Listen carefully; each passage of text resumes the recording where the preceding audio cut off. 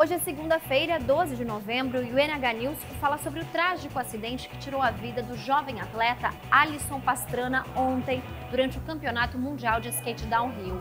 Alisson era morador de Novo Hamburgo, tinha 18 anos e era uma das promessas do esporte. A gente fala ainda sobre a coletiva de imprensa que ocorreu nesta segunda-feira para anunciar a nova administração do Hospital São José de Dois Irmãos. É a partir de agora.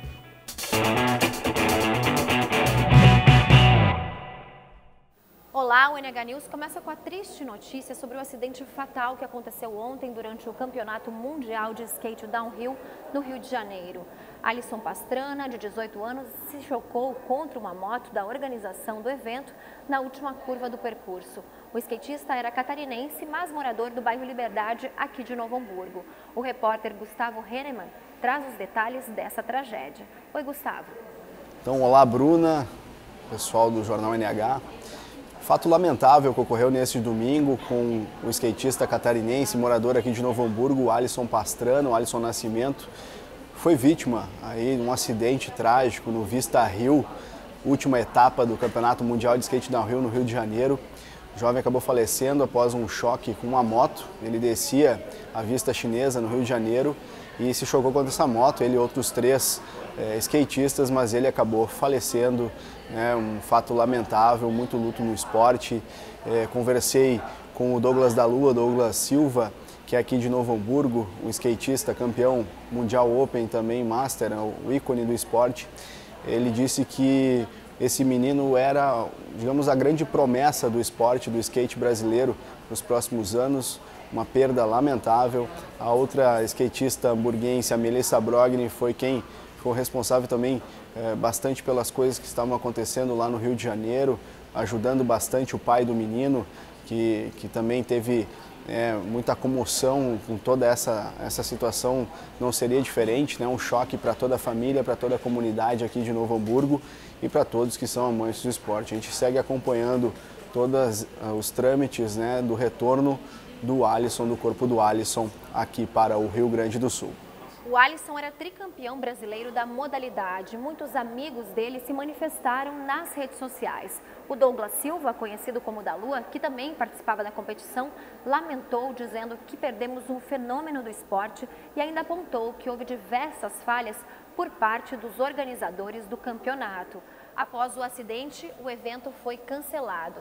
A Federação Internacional de Downhill lamentou o ocorrido e publicou no Facebook uma nota oferecendo todo o suporte para a família do Alisson. A Polícia Civil do Rio de Janeiro vai investigar o caso.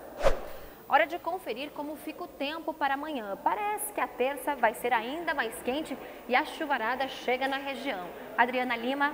Olá, Bruna. A terça-feira aqui no Vale dos Sinos deve começar com bastante calor e a chuva deve chegar na parte da tarde.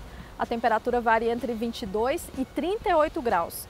O vento sopra fraco a cerca de 25 km por hora e a umidade do ar chega a 61%. Mas tem alerta para tempestade, Bruna, então vamos tomar bastante cuidado.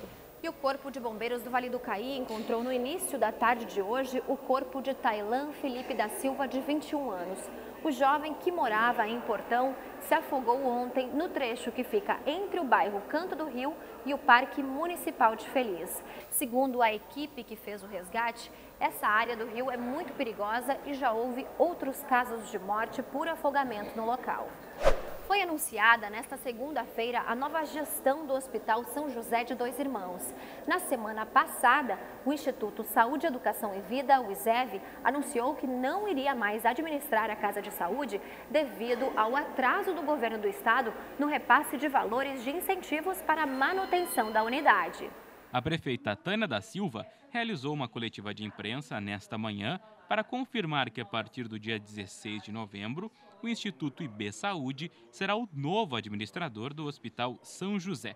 A instituição vai manter as especialidades já oferecidas e até o final do ano poderá retomar a realização de partos na Casa de Saúde, que por enquanto estão suspensos.